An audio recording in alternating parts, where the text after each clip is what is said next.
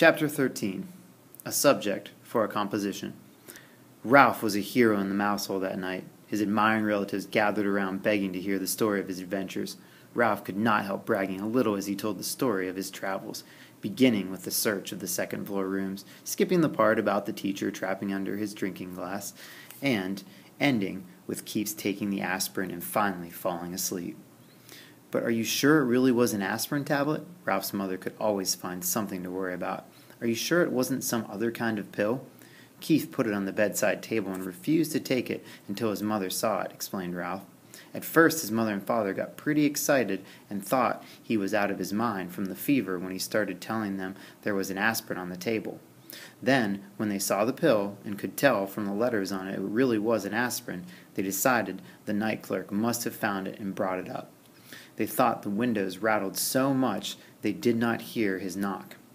Oh, Ralph, I'm so proud of you, said his mother with a sigh of relief, while his brothers and sisters and cousins stared at him with shining eyes. Good work, Ralph.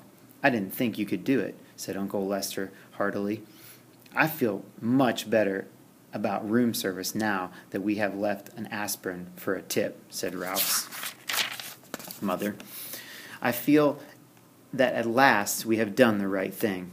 Our Ralph is growing up, said Aunt Sissy. Yes, Ralph is growing up, agreed his mother, with a sad note in her voice. It's hard to believe. It seems only yesterday that he was a tiny pink mouse without any hair. Naturally, this embarrassed Ralph, but now that his mother had finally admitted he was growing up, he decided to take the most of this moment. Now can I go down to the first floor by myself? he asked eagerly. We'll see, said his mother, looking worried once more. Nonsense, said Uncle Lester. Of course he may go. Ralph has shown that he can be a very responsible mouse. I guess you're right, agreed Ralph's mother nervously. Oh boy, exclaimed Ralph. Tell us again how you climbed down the vine and the owl nearly got you, begged a cousin. No, tell us again how the ambulance got stuck in the crack, said another. No, tell about the part about how you got the dog to bark, pleaded a third. The only flaw in the evening for Ralph was the fact that he had not found the motorcycle on his travels through the hotel. Keith slept soundly, and the next morning, although he still had a temperature, Ralph was pleased to see he was feeling much better. Do you hurt any place? Mrs. Gridley asked anxiously after she had given her son an aspirin brought by the milkman. Is your throat sore? Does your stomach ache? Keith shook his head. I feel I just feel sort of tired. He's going to be all right. He must have picked up some a bug someplace, said Mrs. Gridley to her husband. A day in bed with plenty of fluids, and he'll be on his feet again. Mr. Gridley nodded. Do you feel like eating any breakfast? He asked Keith. We can order something for you from room service. Keith brightened. Can I really have something sent up from from room service? he asked, and when his father assured him he could, he slumped back into the pillow. But I'm not hungry. Some oranges would be good for you, suggested his mother. All right, agreed Keith, and then added as if he suddenly had an inspiration. And bacon, and toast, and jelly. Your appetite seems to have come back in a hurry, remarked Mr. Gridley as he picked up the telephone and asked to be connected with room service to order. He thought, breakfast for his son. As soon as the aunts, adults had gone, Ralph popped out into the room. Hi, said Keith. Thanks a lot for the aspirin. It really helped. That's all right, answered Ralph modestly. Where did you find it? Keith was curious, curious to know.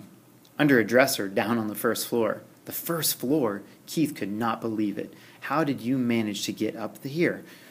Once more, Ralph told the story of his night's adventure, skipping the part about the drinking glass, but making it sound as if he had narrowly escaped the horny talons of the owl as he traveled down the vine. Golly, Keith was amazed at Ralph's story. You know what? You're a pretty smart mouse, and a brave one, too. It was nothing, said Ralph in an offhand manner. Nothing. It was plenty. You risked your life. The boy's admiration and gratitude made Ralph feel even prouder of when he had, what he had done. I parked your ambulance out in the hall, he said, wanting Keith to know how responsible he was. Your folks will probably see it and bring it in when they come back. That reminds me, you didn't happen to see my motorcycle anyplace, did you? Keith's question was unexpected. Well, no, I didn't. Ralph suddenly felt, felt less proud of himself, but I didn't have much time to look. Yeah, I know. Keith was sympathetic. I just wondered. A knock at the door sent Ralph scurrying to the, to the knothole. Come in, called Keith. Matt entered with a tray. Here you are. And here is your ambulance. I found it out in the hall, he said as he sat the tray across Keith's knees. Sorry to see you're under the weather. Thank you. I'll be all right. Keith handed Matt a coin his father had left for a tip. And thanks for bringing in my ambulance. Matt pocketed the coin. Thank you, he said. And by the way, this doesn't happen to be yours, does it? He pulled the little motorcycle out of his pocket.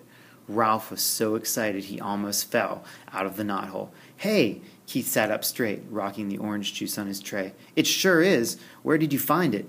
In a hamper of the linen that had been chewed by a mouse, or, or, by mice, or by a mouse. It fell out when the housekeeper was showing us the damage that had been done. I picked it up, and before anyone noticed it, Gee, thanks. Thanks a lot. Keith accepted the motorcycle and set it on his tray. It's my favorite. I didn't like losing it. I wonder how it got into the hamper of linen, mused Matt. Keith grinned but said nothing. Old Matt rubbed his chin and stared at the ceiling. I don't suppose a certain irresponsible mouse happened to ride it into a pile of sheets and pillowcases and get tangled up and dumped into a hamper. Keith tried not to laugh. I don't know any responsible mice, he said. Only one responsible mouse. Say, how did you guess? There isn't much around this hotel that escapes my attention, said Matt. I saw that mouse out in the hall with that little motorcycle. I imagine he's a regular speed demon. Ralph could no longer stay out of the conversation. I'm fast, but I'm careful. I haven't had an accident yet, he boasted and added hastily recalling his fall into the wastebasket, at least not since I learned to ride the motorcycle. If there is anything I can't stand, it's a cheeky mouse, remarked Matt, Matt good naturedly. What do you call getting tangled up in a lot of linen? What I mean is, I didn't crack up in the motorcycle, said Ralph with dignity. He's not cheeky, defended Keith. He's brave. You, you aren't going to tell the management about him, are you? What's the use, said Matt. If they get rid of these mice, more will move in. Anyway, he's a cute little fellow. It cheers me up to just just to think of him tearing around on a little motorcycle. If only I could, thought Ralph. There followed an unusual, pleasant, unusually, usually, unusually pleasant day for the mice. Keith stuffed the bacon and toast and jelly through the knothole. The mice feasted on the bacon and jelly before the ants could get to them, good at them, and stored stored the toast against the rapidly approaching time when Keith must leave the hotel. They slept all morning while Keith alternately napped and played with his cars. For lunch, they enjoyed peanut butter peanut butter sandwiches again. Ralph did not sleep well that afternoon. He found himself thinking of the tantalizing glimpse he had had of the ground floor and of all the opportunities it offered mice. Crumbs in the dining room, leftovers in the kitchen, scraps in the garbage. He lay daydreaming on a pile of shredded Kleenex. He could see himself on the first floor pilfering crumbs in the dining room at night after the guests were in bed and from the dining room he would go into the kitchen right past the night clerk, who was sure to be asleep. If only he could make the trip on the motorcycle. The thought of the motorcycle put an end to Ralph's daydream and made sleep impossible. After tossing about on his bed of Kleenex, he got up and poked his head out of the knothole. Keith was awake, lying back on the pillows with his, with his cars beside him. He smiled wantonly wanly at Ralph. How are you feeling? asked Ralph. Sort of tired, answered Keith. Ralph climbed through the hole. Where are your folks? They went out for a little while. They'll be back. I'm supposed to take a nap. Are you going to? asked Ralph. I'd rather talk to you. Keith leaned over and set the motorcycle on the floor. Want to ride it? he asked. Do I want to ride it? Ralph could scarcely be, believe he had heard correctly. You mean you'll let me, after the way I lost it for you? You proved you could be responsible when you brought me the aspirin, exclaimed Keith. You're more grown up. Thanks, said Ralph modestly.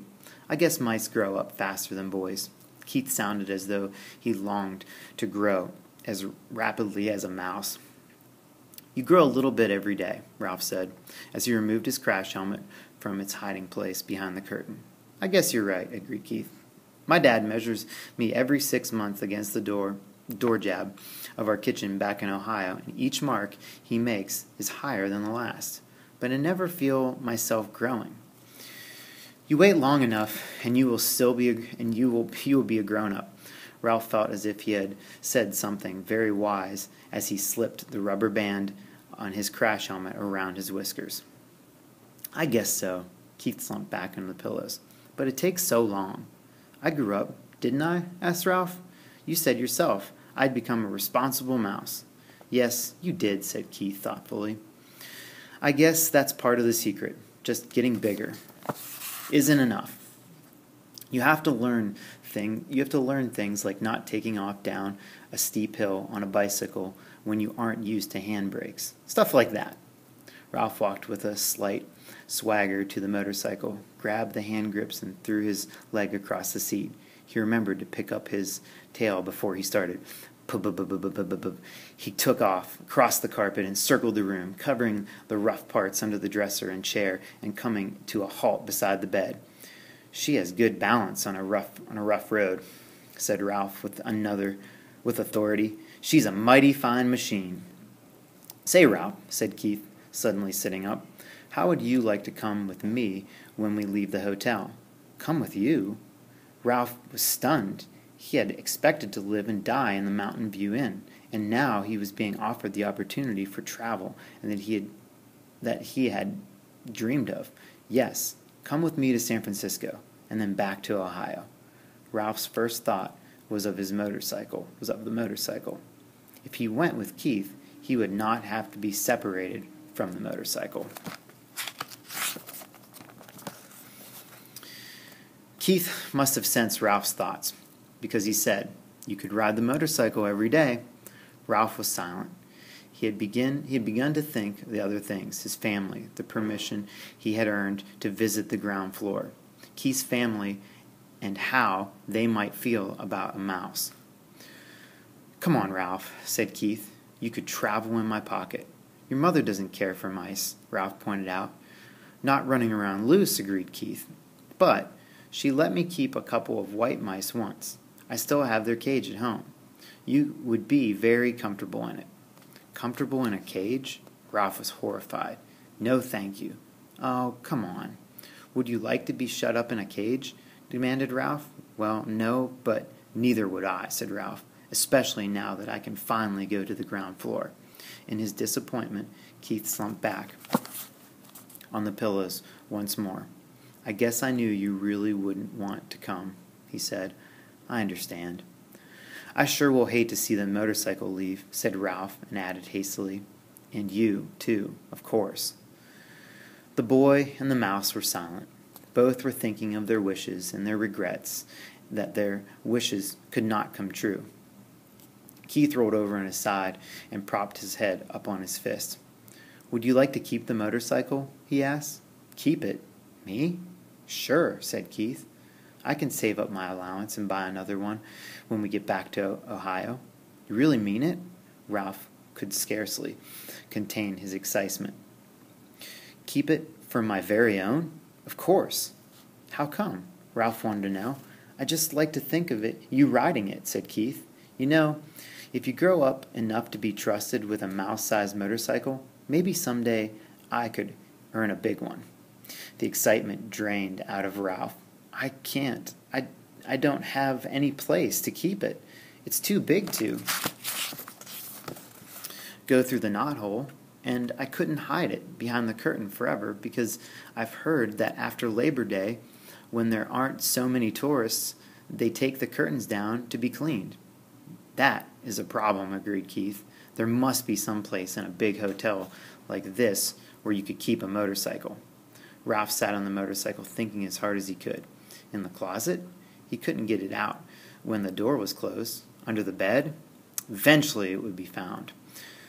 How about downstairs? suggested Keith. I could carry it down for you before we leave. There must be a good hiding place down there someplace. There's that big old clock by my ancestor ran up, said Ralph thoughtfully. Nobody ever cleans under it. But frankly, I don't care to have it stri- I don't have care to have it striking over my head. Keith thought a while. How about that big television in the lobby? he asked. The noise shouldn't bother you because you wouldn't only go you would only go under it at night and everyone was asleep. Yes, Ralph was excited. That's a perfect garage. I saw it when I got the aspirin. The legs are just high enough for the motorcycle, but not quite high enough for a vacuum cleaner attachment. Then it's settled, said Keith, and then added rather sternly, Ralph thought, but first you must ask your mother. Ralph dismounted and ran to the knothole.